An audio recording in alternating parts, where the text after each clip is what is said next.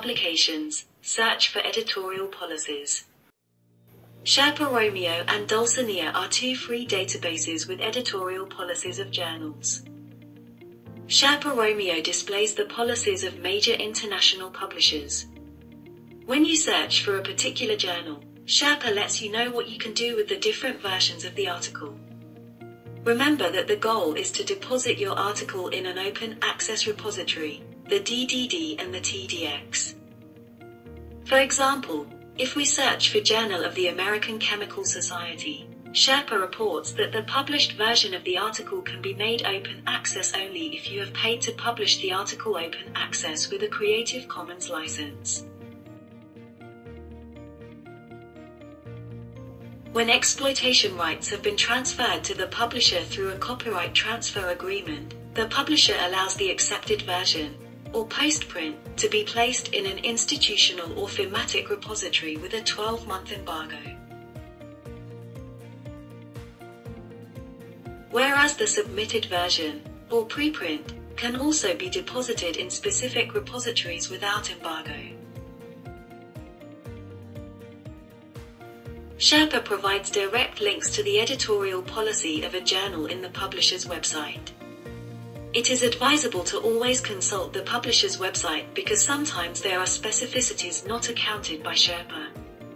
For example, there are publishers that allow you to put the published version of an article as an appendix to the doctoral thesis. This might not be accounted by Sherpa.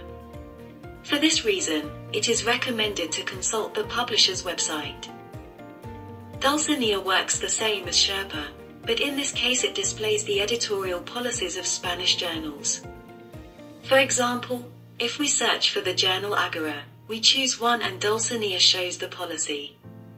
In this case you can also see where you can submit your article, which version can be deposited and what is the embargo period imposed by the publisher. Dulcinea also provides the direct link to the policy on the journal's website so you can consult the specificities.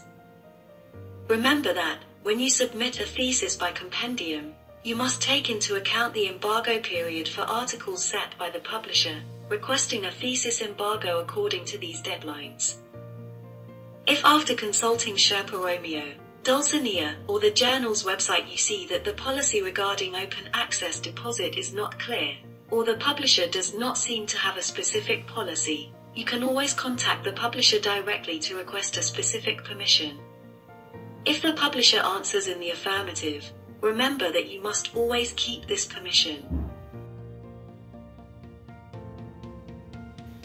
On the other hand, both in Sherpa Romeo and Dulcinea you can find cases in which publishers do not allow open access deposit of articles, like for example, in this case.